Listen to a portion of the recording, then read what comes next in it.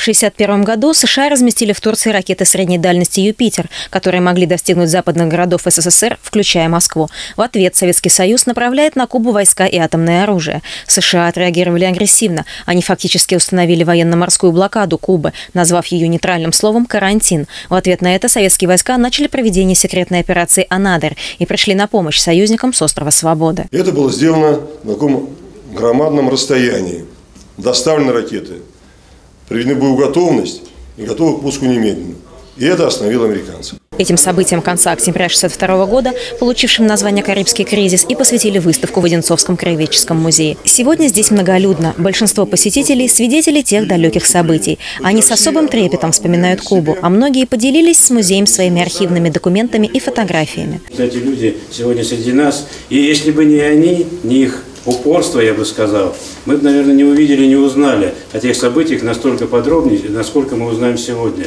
Почему? Потому что все эти фотографии, они собирались, копились, материалы, где-то в запасниках они были.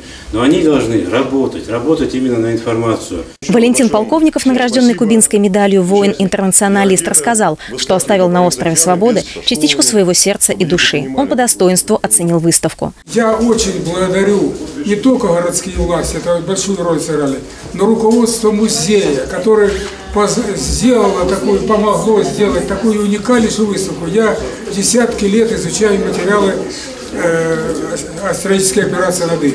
Поверьте мне, в таком собранном виде нигде вы ничего не найдете подобного. Ветеран вспоминает, что во время Карибского кризиса советские ракетные установки находились недалеко от города Артемиса. Поэтому неудивительно, что город впоследствии стал побратимом Одинцова, столицы российских ракетчиков. Цветы для ветеранов Карибского кризиса. Между прочим, их осталось совсем мало. Из 42 тысяч только две. Далее занимательная экскурсия. Я проезжал тот период на Кубе. Я вам хочу сказать, ну все были вооружены, кром шли войска, на наших машинах. Разрешение кризиса стало переломным моментом в холодной войне и началом разрядки международной напряженности. Карибский кризис продолжался 13 дней. Он имел очень важное политическое и историческое значение. Человечество впервые в своей истории оказалось на грани самоуничтожения. Организаторы выставки уверены, что она вызовет большой интерес у школьников нашего района и уже готовы проводить многочисленные экскурсии. Анна Макарова, Станислав Трифонов, телекомпания «Одинцова».